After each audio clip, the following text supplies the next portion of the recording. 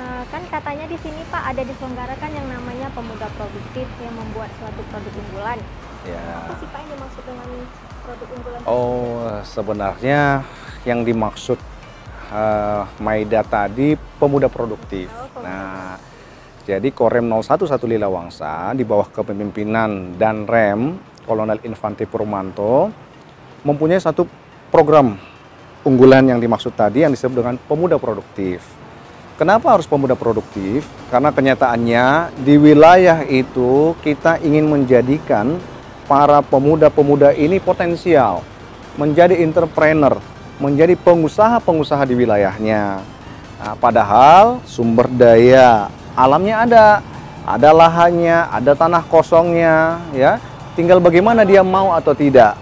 Kemudian yang kedua, khusus untuk anggota juga ada program pada saat ingin masuk ke Kodim ada uh, program uh, pelatihan.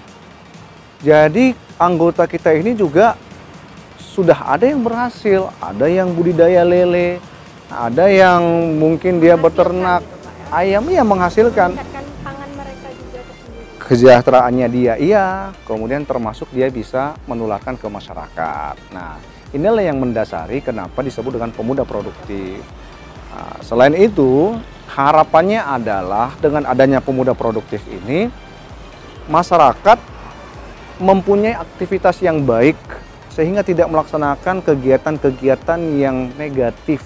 Mungkin mengarah ke kriminal mengarah ke hal-hal yang dapat merugikan dia sendiri. Nah, ini tentu saja peran pemerintah daerah, peran Kodim ya, para dan Ramil di wilayah uh, seperti Kodim 0104 ini memiliki 24 koramil. Nah, 24 ini semuanya harus punya pemuda produktif.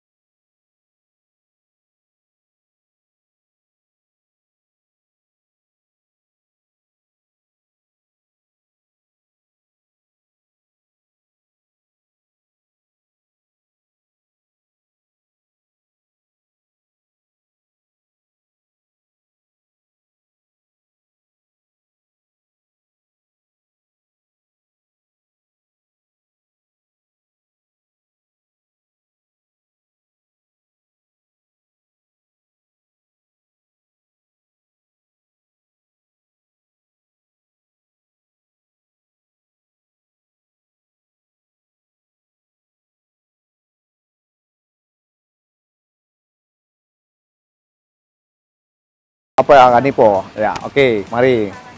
Disebut hidroganipo karena dia terdiri dari hidroganik dan hidroponik. Hidroganik itu adalah budidaya lele dengan menggunakan sistem bioflok. Ini satu drum besar ini kurang lebih isinya 1.500 sampai dengan 2.000 ekor. Betul. Bisa panen sam maksimal sekitar tiga bulan. Dia disortir, ambil betul, dan dia tidak berbau. Kemudian faktor resiko kerugiannya juga kecil. Nah, karena apa? Dia airnya mengalir terus. Hmm. Jadi nggak nggak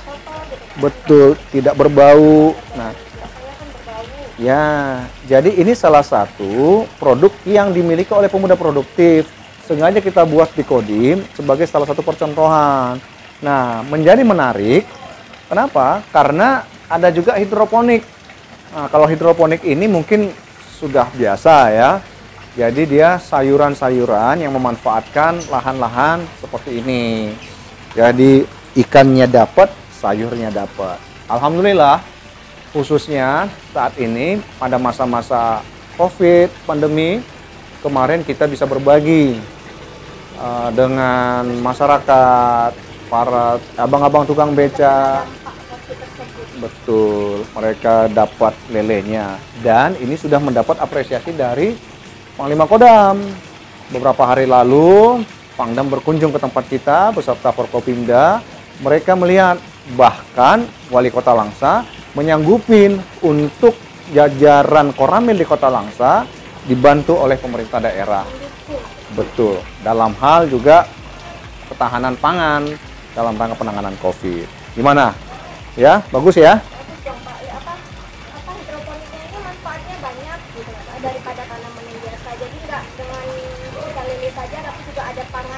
Nah. Betul. Inilah yang dimaksud kita kreatif, kemudian memanfaatkan lahan sempit. Nah, kalau seperti ini bisa ada di tiap desa, di tiap wilayah, di tiap kecamatan. Sangat menguntungkan.